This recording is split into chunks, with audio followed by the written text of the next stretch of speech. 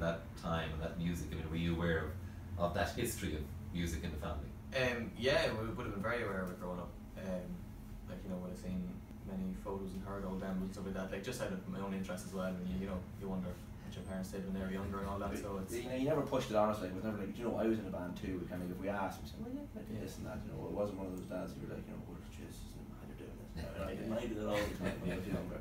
yeah. No, it's from our own curiosity. Mm. We delved into things like that. Yeah. And uh, were you surprised then at, at the response you've got to your music? I mean, uh, obviously, you, you got a break at the right time, uh, Mhm. but you got it because because of the music, because of what you were doing. You know, I think there's much the hard work as well. Like we were quite surprised that the type of music that it is isn't normally known for being massively successful. Uh, so yeah, the, but I think it was the hard work we put into it. Yeah, we'll obviously come back and, and the reward and all that sort of stuff. But it's just kind of nice to be like a band to be able to show under their own banner. Yeah. Yeah, no, it's like you know, it would be a surprise to anybody that it's something that we just started doing when we were young for a bit of fun and for it to turn into something you do full time. You know, and you're as fortunate enough to be able to do that with your life at this age as well. And it's, it's incredible.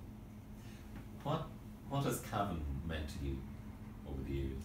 Pen down.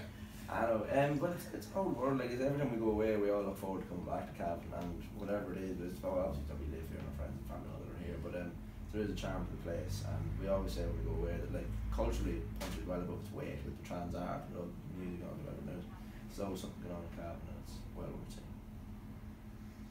Um, yeah, it's you know home for us, and so like you know whenever we're away, it's the pull of home is always very strong, and it's you know we're all still based in Cavan, and you know well, that's the way to be for the foreseeable future. It's you know where we feel like we belong sometimes. How did um how did Elton John pronounce Cavan? Cavan, he wasn't to know. you know, how, Yeah. how would you know? Yeah. yeah. You never heard of my Yes. names. exactly, you didn't hear my name. uh, I might get him here yet. What was it like, you know, being on shows like Letterman? It was that sort of great old buzz Uh, of that. Like that would have been incredible. Yeah, that was uh, on our second trip to America. We did Letterman, and it was one of those surreal moments. It, it all goes by in a blur when you do something like that. That it was uh, all kind of done uh, in a morning sort of thing. Pre- pre-recorded early in the day, so you're kind of like you know in the sort of flurry of doing it and sound checking, and then you get ready and you go on, and then suddenly you're out in the street and thinking, did we just do David Letterman there? But you know, it's one of those moments. It's like you look back on it. To add to the New Yorkness of it as well, David Fricke, head writer of Rolling Stone, and it was Was with us. That's what it ends, Jesus. Uh, so it was amazing. Yeah, it's one of those things when you say it, you think, Jesus, we actually did do that. Yeah. And it, it is kind of extraordinary to look around and see yourselves, uh, Lisa O'Neill, uh, Ollie Kavanagh, this Mm.